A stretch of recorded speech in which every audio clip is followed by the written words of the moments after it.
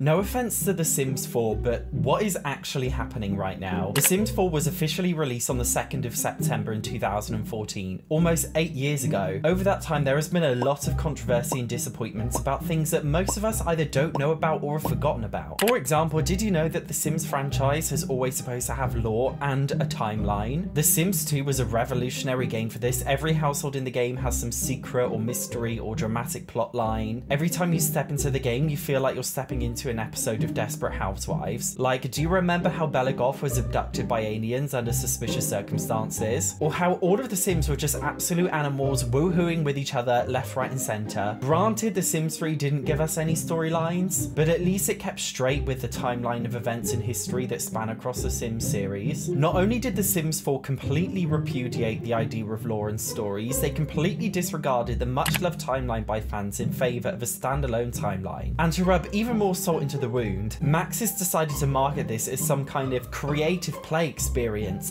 This is a bold step forward for our Sims as they come to life like never before. Make your own timeline, make your own weird, crazy stories. Because that's right, I'm a five year old and I get excited about making up fantasy stories in my mind and pretending they are real when they are clearly not. Well done, Maxis, for understanding your customer needs so well. The worst thing is they actually put fake stories in The Sims 4. When you click on any pre made townie household, they have a fake story written in their bio. Like, it's literally just fake. The most recent pack, My Wedding Stories, came with a world with two households. Even though it's a very small world, the households don't really know each other because nobody knows each other in The Sims 4. Johnny Zest doesn't even know his own family. That's right, eight years on, and they still haven't bothered to add any real storylines in the game. So I think it's safe to say that lore isn't coming back anytime soon. Capitalism, also known as Moschino stuff and Journey to Batuu. The Sims has always had product placements in the series. The earliest I can remember is The Sims 2 H&M fashion stuff and The Sims 2 IKEA stuff. Although granted, I did really enjoy these packs at the time. Not all brand collaborations have to be bad. I actually loved having H&M fashion and IKEA furniture because they're both extremely relatable brands. Most people have bought something from either of these brands or shops at least once and that's because they are affordable and relatable. The Sims 4 unfortunately took the whole product placement thing just a little bit too far. First up, we may as well mention Moschino stuff. Who on earth owns any items from Moschino? The Sims 4 Moschino stuff came with a fashion photographer career and some CAS and build buy. The CAS, by the way, is absolutely terrible. It doesn't even look fashionable despite coming from a fashion brand. Like, what the hell is this top? Especially with the matching skirt. And of course, that we cannot forget about the cursed pink Moschino heels. The swimsuit uses the old plumbob, not the new one. This dress is literally traumatizing. This skirt is traumatizing. This top, okay, it makes me rage that this top says Moschino in the Latin alphabet. Why is it not in Simlish? Because this is The Sims. It doesn't make any sense. And the bloody clown thingy, I, whatever this is, a sweater, I don't know what it is. It looks like a JPEG image made in paint. It literally looks terrible. The men's stuff is literally just as bad. What the hell is this? What on earth is this? And even though this is a pack about fashion, it actually came with more build buy than fashion. Some of the build buy is actually all right. It's quite modern stuff. But then like, this is not a build buy pack. This is a fashion pack. So why do we have all this build buy? Of course, we can't make a video ranting about The Sims 4 without bringing up Journey to Batuu, the infamous pack that literally nobody asked for. The Sims 4 Star Wars pack features your sim going to a Disneyland Star Wars themed place and doing really patronizing basic tasks like click here, speak to this person, do this. And let's be honest, the pack is basically an advertisement for Disneyland. And the thing that aggravates me so much about this situation is EA's history with Star Wars. The Star Wars Battlefront series was always quite popular until EA released Star Wars Battlefront 2. EA set this game up with a horrendous loot box system which led many players labeling the game as pay to win and severely impacting the release of the game. And to be fair, the fact that EA teamed up with Star Wars again in The Sims 4 Journey to Batuu was extremely brave, but unfortunately ultimately failed. And disastrous collaborations doesn't just have to come in the form of packs. Around January 2021 time, The Sims team randomly partnered with MAC Cosmetics. Well, even before then, of course, we had the curse and iconic MAC makeup come into The Sims 4. Including the iconic sperm eyeliner. But this memory is a little bit too traumatizing, so let's focus on the 2021 collaboration. MAC basically just repackaged an older makeup palette and put the Sims logo on it, and bam, that's all it really was. Other than that, the palette literally has no Sims 4 branding. The colors don't represent anything in The Sims. The palette is literally just a normal makeup palette, but with the Sims logo on it. Like, do I need to say any more? If only the Sims scene spent less time on meaningless collabs and more time on what Sims actually want, then maybe we would have some more fan requested features right now, like cars. Because one of the main reasons why The Sims 3 was loved by so many fans is because when it first came out, we had the ability to drive cars literally anywhere. Although we have always had cars in The Sims. In The Sims 2, your Sims could drive to different lots, even though it was an open world. Even The Sims 1 had vehicles. The Sims 4 completely ruined and killed off cars, ruining the prospects of having your Sims ever drive again. And you're probably thinking, Satch, why are you complaining so much about cars? Who cares? And yeah, to be honest, it's not really the absence of cars that bothers me, it's more so the underlying meaning behind it that bothers me. The Sims 4 could have given us so many features that were just normalized in previous games, but they just straight up got rid of them and ruined the game. Like cars, babies that are not literal objects, even toddlers were not in the base game, just as we didn't have swimming pools or goats or even dishwashers of all things. Worst of all, I remember the Sims team used to really hype this up whenever these updates came out for The Sims 4, like, look, we are treating you to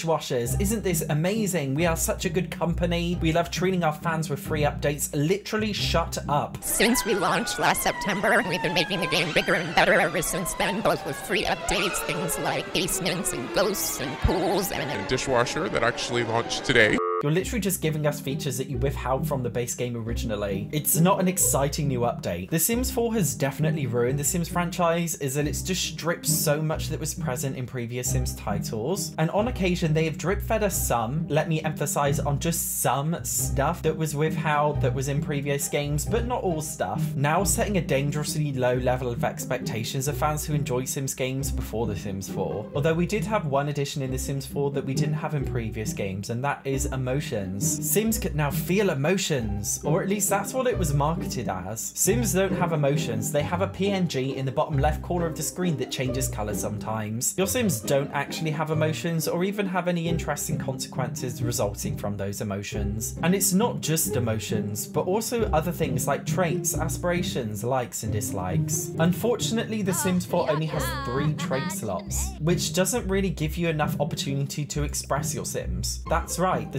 Sims 4 has also ruined the concept of expression and individuality because all of the Sims are the same. Then of course we have the pointless likes and dislikes system. The system was introduced in a patch for the Dream Home Decorator pack, as this pack requires you to know what design choices your client likes before designing their homes. But since the release of this pack, no other likes and dislikes have been added. We've got color, music genre, activities, and decor, but that's it. Okay, so I can like a music genre, but I can't like a certain type of TV show or movie. I can't like indoors or outdoors. Well, I can. I can like the outdoors, but liking outdoors is not a like. Liking outdoors is actually a lifestyle trait. Aspirations are another feature that's always been present in the Sim series, although in recent years it's safe to say Maxis has killed them off. At the start, we got quite a few different aspirations, all doing completely different things. In the Sims 4 era, aspirations have almost taken a tutorial role, bringing you through all the different pack features. I actually really like this approach because it gets you to enjoy and experience all the different parts of the packs, especially things that you didn't necessarily know about before. The problem is they just stopped doing it. My Wedding Stories, a pack about weddings, didn't come with an aspiration for a perfect wedding. Dream Home Decorator didn't come with a new career focus aspiration. Is it laziness? Is it forgetfulness? Regardless, you can't just completely randomly stop like that, yet still keep the packs the same price because you're getting less content but for the same price. It's just a rip-off. Whims are another thing that they've forgotten about. In fact, they've totally removed them from the game. You actually have to now enable them by clicking show whims. Whims are just random things your Sims want to do, like call somebody from the phone, schedule a date, donate to charity. Some of these are based on traits. So this guy has a soulmate aspiration, so he wants to kiss someone, and he has a good trait, which means he wants to donate to charity. And some of them relate to your emotions. So sad, he wants to write in a journal. Although, oh, now he's just changed to happy because as I said before, emotions in The Sims are so pointless and they change so randomly. But then sometimes they're so random, like because he's not a vampire, he wants to search for vampire information on the computer. But why? Could that not have just been an aspiration? In fact, I think it is an aspiration. Yes, use the computers to search for information about vampires. The great thing about these is it builds up your aspiration points. Another feature that's basically been forgotten about, and you can get different things that increase your Sims ability to do things. Like you can make them read faster, you can make them clean faster, you can make it so they never need to shower again, you can make it so they're always full. Like there's so many really interesting aspirations. This was always one of the funnest things about The Sims 4 and they've just completely forgotten about it and got rid of it. Whims were a way for your Sims to express their wants and desires by asking you to do things. Unfortunately, they have been implemented very badly in The Sims 4. Some people did complain about whims because it came with random things like search for vampire stuff on a computer or buy a bee box. And yeah, some of these were bad, but instead of just working on it and making the whims feature better, they just abandoned it. And now this whole concept on personalizing your Sims is just completely ruined. The Sims 2 had an incredible wants and fear system. Your Sims would just want to do certain things and also fear doing certain things. Kind of similar to whims, these also have to build up your aspiration points and just added some variety and character to your game. And just as with the lack of aspirations or traits, again, we're getting no new whims with the future packs despite being priced the same. They're just not adding any ways to progress through your Sims lives. They're just leaving it completely blank and saying, make up your own creative fun story because they can't be bothered to give your Sims any character and they can't be bothered to give them any goals in life or any unique traits or things to do or update aspirations to give you something to work towards as a player. It's just leaving the game completely bland. And yeah, if we're talking about everything that The Sims 4 has ruined, we may as well move on to talking about packs. The Sims has always had packs. Originally, these packs were intended to provide additional gameplay. Back when The Sims 1 was released, the internet wasn't really a thing. It's not like now where you can just download updates if you want an update. You had to actually buy a pack. So not only did these packs provide additional gameplay, they also provided some important core updates. Since then, the whole concept of a pack has just gone totally out of hand. Every single Sims game has been cash grabby and unethical from this perspective. The Sims 4 has just taken it way too far. The Sims 4 is the first game in the Sims 4 series to introduce game packs. They're basically just like expansion packs, but with slightly less content. I actually really love the idea of game packs. What's the point of buying an entire expansion pack when you only just want one gameplay element for it? Like, we don't need tons of build buy and CAS and gameplay. Like, sometimes we just want the gameplay. I remember when I was younger, I only wanted The Sims 2 Nightlife, not because of the nightlife gameplay, but just because I wanted vampires. I think it's great that in The Sims 4 you can just buy a vampires game pack as a standalone pack, and it makes perfect sense. The problem lies with now the fact that so many gameplay elements are being drawn across so many different packs. Like Dine Out, in previous games, restaurants were just a normalized thing, like you didn't have to buy a particular pack to get them. Or like how weddings in The Sims 4 are so bad they made a special pack to upsell us to make them even better, even though the pack literally made weddings so much worse than they already were. Or how Dream Home Decorator literally comes with no new gameplay despite being a game pack, simply offering more build buy and a career that has a couple of interactions. Right now, EA and Maxis are just milking Sims 4 fans who are addicted to buying the DLC. And I know you're all addicted because you keep saying comments in my